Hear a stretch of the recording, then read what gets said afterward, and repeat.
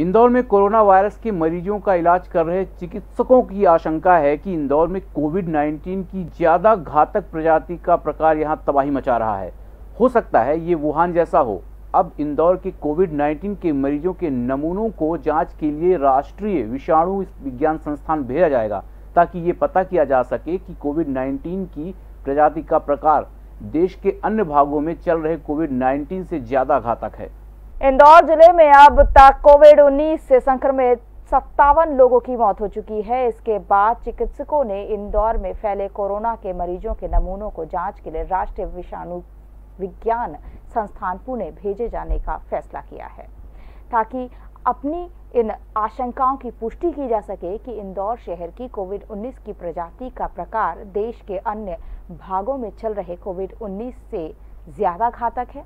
राष्ट्रीय विषाणु विज्ञान संस्थान पुणे भारत का एक अग्रणी अनुसंधान संस्था है, जहाँ Mahatma Gandhi memorial medical college Indore की डीन ज्योति बिंदल ने बताया, हमने महसूस किया है कि इंदौर बेल्ट में कोविड 19 की जो प्रजाति का प्रकार है, वह ज़्यादा घातक है। इसके बारे में हमने राष्ट्रीय विषाणु विज्ञान संस्थान पुणे के साथ चर्चा की है कि उन्हें और इंदौर के कोविड 19 के मरीजों के नमूने भेजे जा रहे हैं। ताकि वायरस के अनुवांशिक तत्व को निकालकर उसकी तुलना देश के अन्य कोरोना वायरस के मरीजों के नमूनों के साथ की जा सके। मैं ऐसा कोई भी स्पेकुलेशन नहीं करूँगी और ना करना चाहूँगी, पर मैं ये बताना चाहूँगी कि हमारे पास जो मरीज़ आ रहे हैं, वो काफ़ी एडवांस स्टेज ऑफ़ डिज़ीज़ में आ रहे हैं और उनको साथ में कोमॉर्बिडिटीज़ बहुत हैं।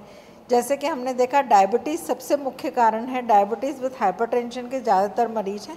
इस तरह से कोमॉर्बिडिटीज़ के मरीज़ हमारे पास ज़्यादा हैं। अलग अलग स्ट्रेन्स हैं वायरस की। ऐसा माना जा रहा है विश्व में कि कोरोना वायरस के तीन प्रकार के मुख्य रूप से जीन्स हैं। ये म्यूटेशन जीन्स होते हैं और आ, कुछ ज़्यादा विरुलेंट होते हैं और कुछ कम विरुलेंट होते हैं। प्योरली साइंटिफिक रूप से ये स्टडी करे, कराए जाने की कोशिश की जा रही है कि किस जगह का वायरस किस जीन को के साथ का है। यह स्टडी हमें वैक्सीन डेवलप करने में भी मदद करेगी। आज हमारे पास भोपाल से सैंपल चल के आ रहे हैं। इंदौर के सैंपल हमारे पास उपलब्ध ही हैं। हमने national institute of virology Pune में बात की है।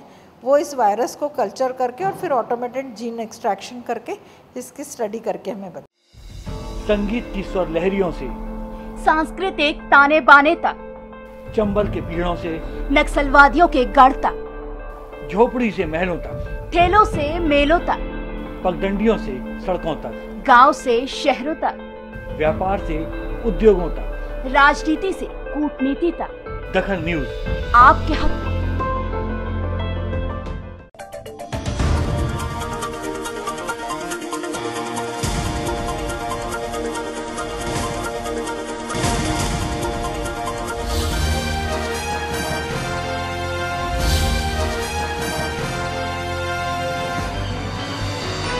आप देख रहे हैं दखल न्यूज़।